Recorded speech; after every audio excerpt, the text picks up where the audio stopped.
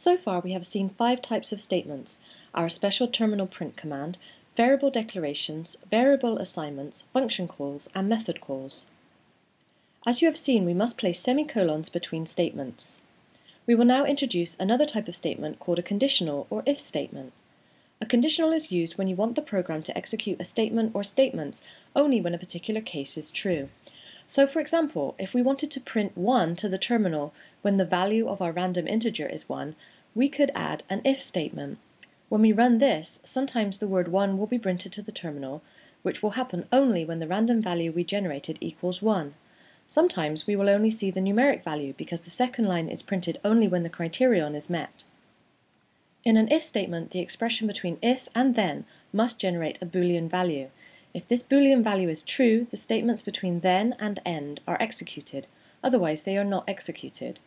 In the example we just went through, there is only one statement inside the conditional. However, you can actually have any number of statements inside the conditional as long as they are separated by semicolons. Semicolons are only required between statements in multi-statement blocks, e.g. between then and end. For example, notice there is no semicolon after the final statement. However, because there is no consequence to extra semicolons, putting a semicolon after every statement doesn't hurt anything and can be a good way to prevent errors.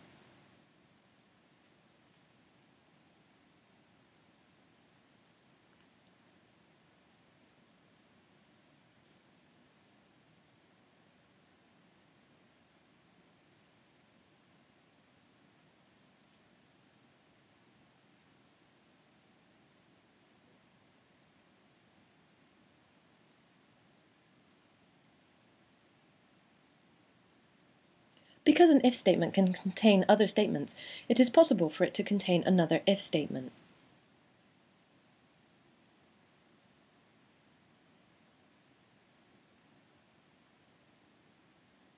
This is sometimes called a nested conditional. Note that we used spacing in our program to make the logic of the program clearer. However, presentation doesn't care about such spacing, and the same behavior would result if you wrote the entire program on a single line. Even though spacing doesn't affect how your program runs, we strongly recommend using new lines and indentation to make your programs easier to read and to write correctly. In fact, the presentation editor will help you do that by adding tabs when you press enter after a then, and removing tabs after you type an end. An if statement can also optionally have other conditions and statements that can be used to specify what should happen if different conditions are met. The simplest form this can take is the addition of an else statement. When you add an else condition, you can specify one thing to happen if your initial criterion is true, and another thing to happen in all other cases.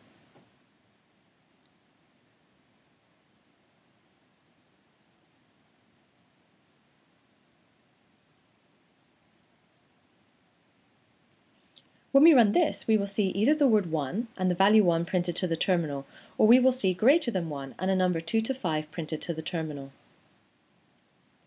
If we are interested in having more control than the simple if-else structure can provide, then we can also include any number of else-if conditions.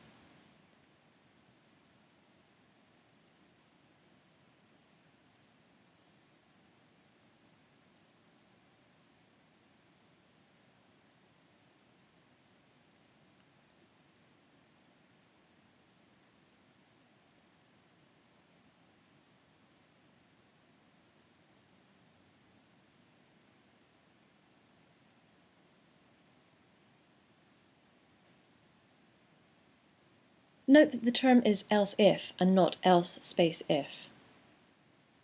If you were to use else space if instead, you would mistakenly create a nested conditional without a closing end.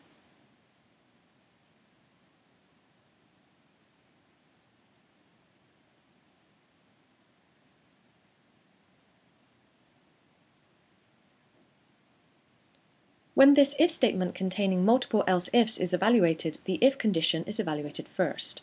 If it is true that random value equals 1, the statement after then are executed and the else if and else portions are skipped entirely.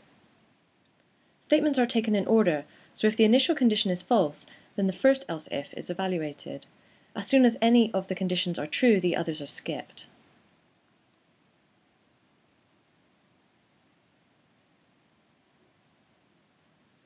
Note that we can have any number of else-if portions, and that it is not required to have an else portion.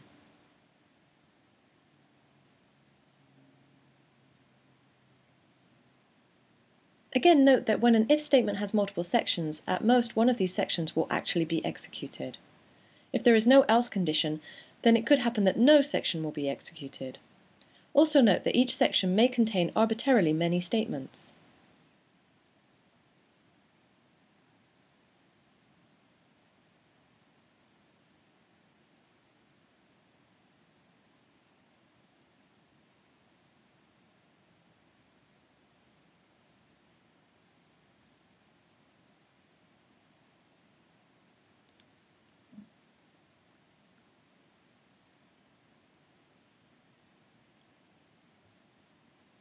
Another concept that is relevant to if statements is scope.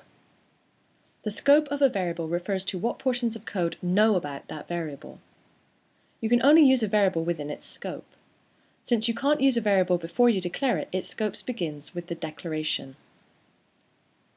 If you try to use a variable outside its scope, presentation will tell you it doesn't know what that variable is. In this example, we can't print the value of random value before we declare it.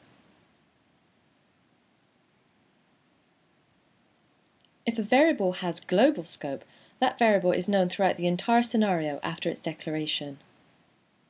In other words, its scope does not end.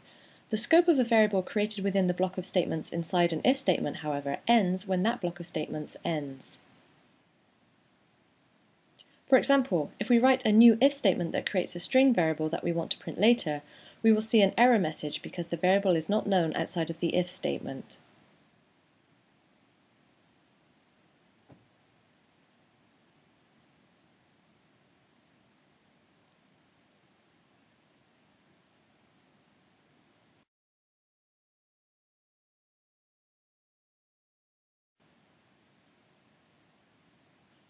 The scope of what to print ends at the keyword end and can't be used after that.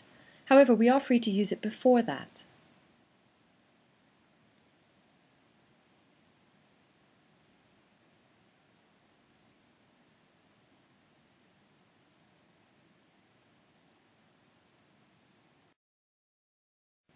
If your if statement has multiple blocks, Variables declared within one block may only be used inside that block and not inside other blocks within the same if statement. In this example, we cannot use what to print inside the else part because its scope ends with else.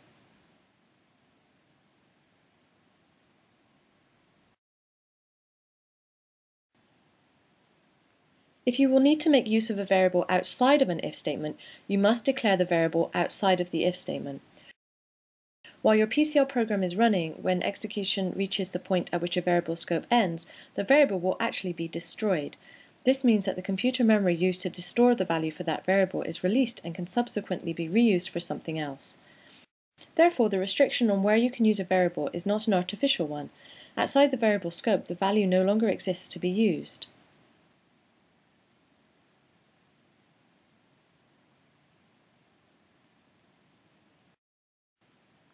There are other programming structures that limit the scopes of a variable that we will discuss later.